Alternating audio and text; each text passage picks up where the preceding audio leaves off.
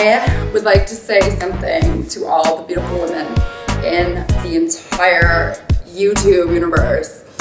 You have to respect yourself before, as a woman, before a man can respect you. Oh my God, have I ever screwed up with that? Love yourselves! You know, love. Just love yourself. Take time out to do you. Use a keeper. So sick of these guys taking full advantage of women in many different ways, not just sexually. Boy, it's with people or whatever. And it's so wrong. It's at the end of the day, it's like, just make sure it's the right type of love. Make sure that the person respects you. Make sure that the person cares about you. If I was in a relationship, it was like, oh, I'm gonna stay with them because I love them, you know, and I need them, this and that. And realistically, no.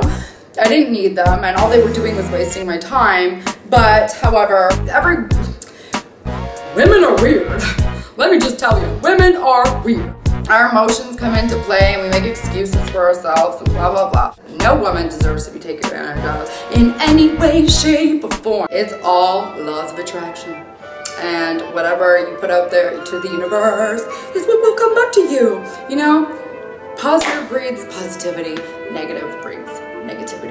Simple, right? And if love is what you're looking for, respect yourself and be respectful and love yourself and treat yourself good and a man will love and treat you the exact same way that you come off and treat yourself. Don't be one of those girls that he calls at 3 o'clock, 2 o'clock in the morning after he gets back from the club,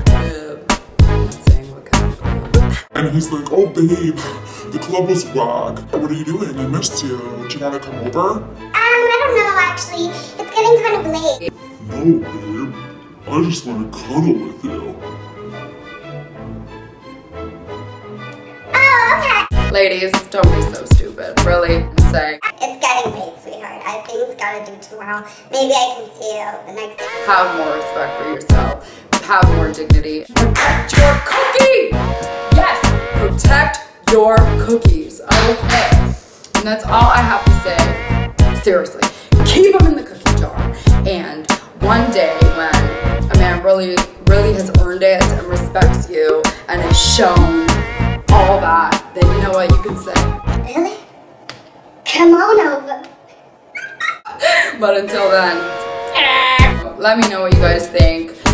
Women, even guys in relationships, what is your take on this? What do you think? Do you think that women should wait to have sex? Do you think men should wait to have sex?